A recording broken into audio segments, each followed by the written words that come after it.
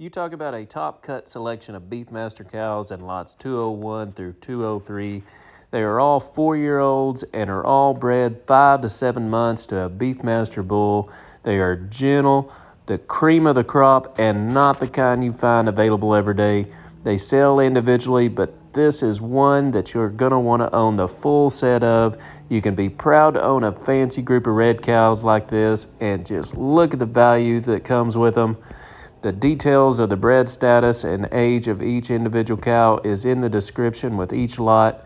If you're interested in bidding on these, head over to our website, jjcattleco.com. You can enter the auction and bid on them live there. The auction ends on Saturday at 7 p.m. Have any questions about them or the auction, just get in contact with us. Thanks for watching.